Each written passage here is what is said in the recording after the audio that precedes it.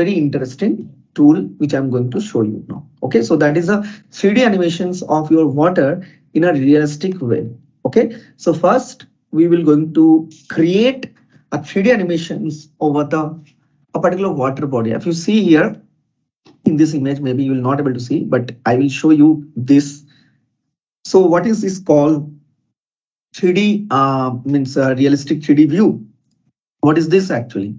Okay, so that you just understand first, then I will show you the full demo. The still picture, so you will not understand. But if you see here, you will get some visualizations things like see the waves are actually moving okay so if you some cases okay so you can create a 3d animations with this type of realistic views which you can apply it over different kind of uh, features. Okay like water tree okay tree movements. These all things which you can uh, show you show you can be able to show you here. Now the thing is how i'm going to create it. Okay so we're going to show you on this. It's a very interesting things. And with that there is a two more things are there which i am going to show you together so this is the 3D animation. And if you see, there is a kind of a black spots will be there. That is kind, kind called this as a visualization effect. Okay. So if you see here, so we have, this is new tool which is added, which is not there in ArcGIS 2.9. This is actually added. So improved 3D display and visual control and post-processing effect. So these two things are actually added. Okay. So how it will be going to create these two things like this one, another one. Okay, so this is for the improved visualization control for the visual effect tool. And this is for the processing, post-processing effect tool. So both you can uh, able to use to make in a more realistic, uh, means kind of 3D animation kind of things which you can show you over here. Okay, so for that, so this I'm going to show you over. Now I'm going to show you how we're going to create this realistic from the scratch. Okay, so I'm just come back to this. Okay, and I will create a new map layout. So let's create a new map layout. So in the map layout, what we will do, we will going to search uh, some particular locations and uh, something uh, like kind of a lake I'm going to search. Okay, so for that, uh, I will go to map, take the local. I just type city Kolkata, enter.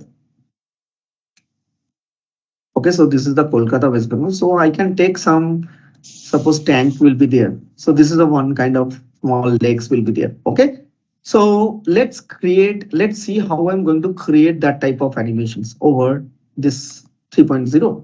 So for that, I'm just going to create a new vector file. So vector file, how we going to create? It's very easy in ArcGIS Pro. So I will go back to the catalog so this is the temporary folder which I created. So under this, I will create a new shape file. Okay. So this shape files is basically my feature class, which I'm going to give a name as a water or lake. Lake you can give. Okay. So this will be your polygon structure. What it will be? It will be a polygon structure. Okay. So now I'm going to transfer the coordinate, the map coordinates only because I'm going to do the drawing directly over the map.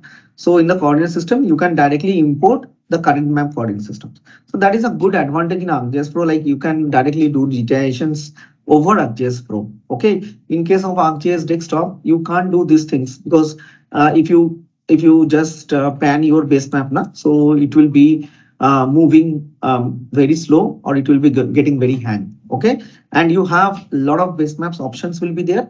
If you see here, we have like it is called image hybrid. I will show you over the image hybrid also. Okay, so image hybrid basically you will give it the local informations also. But anyway, now our main objective is to create a shape file. I'm just going to create a shape file now. See here. So shape files will be created. So I will just click on this lake. Okay. And the property. I will change this color as uh, like a little bit looking like a water body. So I'm just selecting this. So now I will going to create a particular water boundary exactly with this. Okay, not exactly, but uh, I will try to make it. But anyway, so you can go to the edit tool, take the create, take the layer file, and then start the digitizing to create this particular, suppose, lake I'm just trying to digitize.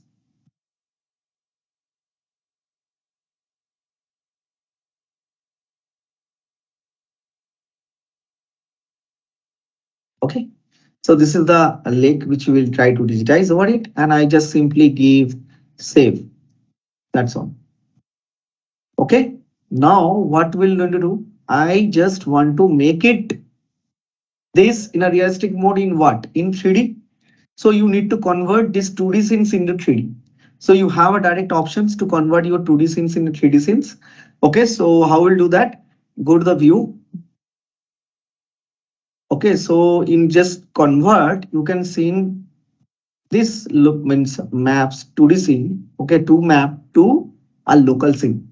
Okay, local scene is the small for the small area we usually go for the local scene global scene is basically whenever you have some data which will representing the full world okay so in that case you can go for the global scene so what type of data like the air traffic movements or migrations of the birds if you are going for that type of research then you can go for the global scene okay anyway now this is my this maps will come so the first things which we'll have to do it here whenever you are converting it map 2D to 3D, still you see your layer is in actually 2D.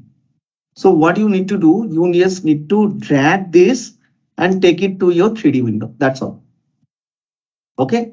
Now your 3D, now this one, it's came to your 3D window. So if you want, you can drag it like this, but still you just see you will not able to find anything over here, any changes over here. So that you need to adjust in the symbology panel. So how we'll do it? So simply click on this lake. Okay, so under the property, you have this layer option. Okay, so if you go in layer option, first thing you have to do, you have to stop this stroke one. Okay, you just stop the stroke one, check off the stroke one. And now this solid fill options will be there. Now you just go there and simply click on this animated fill.